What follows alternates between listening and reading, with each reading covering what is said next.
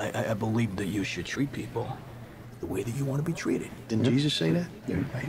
Also, always take a favor over money. I think Jesus said that as well.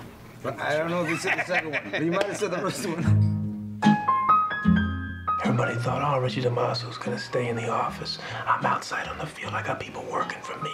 My ideas. I'm running the show. I'm the quarterback, and I'm not gonna settle. It's not for me to say. He wasn't necessarily in good shape, and he had this comb over that was rather elaborate.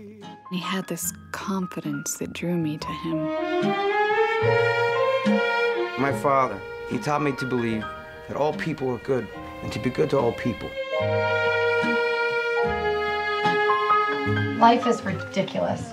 And you know that I would never say anything bad about your father in front of you, but your father is a sick son of a bitch. Daddy's a sick son of a bitch. Don't repeat that. But yes.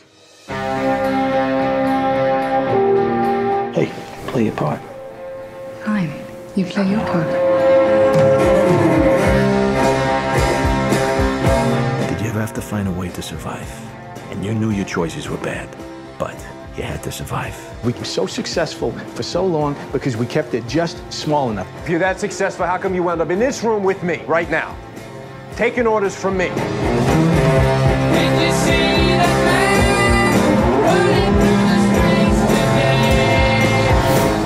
This is Agent DiMaso placing $75,000 into this briefcase for Mayor Carmine Polito.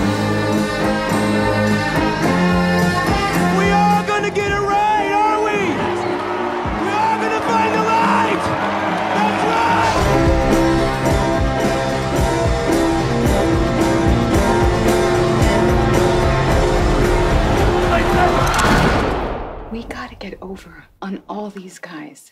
That's what we need to be thinking about right now. We gotta get over on all these guys.